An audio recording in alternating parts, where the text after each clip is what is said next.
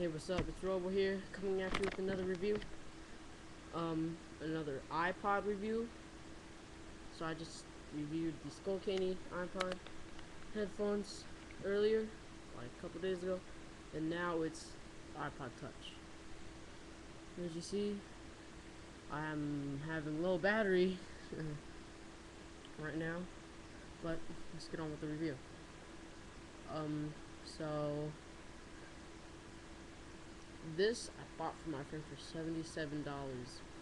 He has a second one, better than this one. He has a 3G one.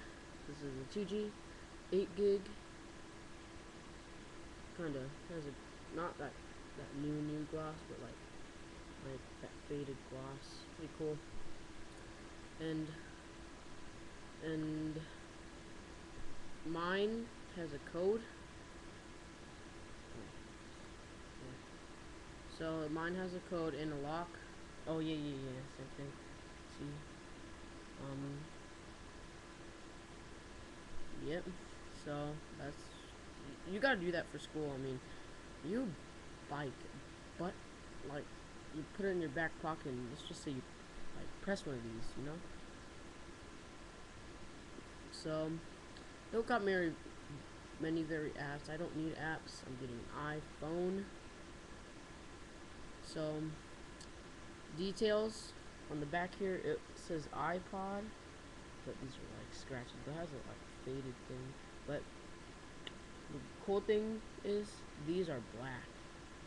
So is this the power down and the turn on button, the up and down button. So for the apps, you have YouTube,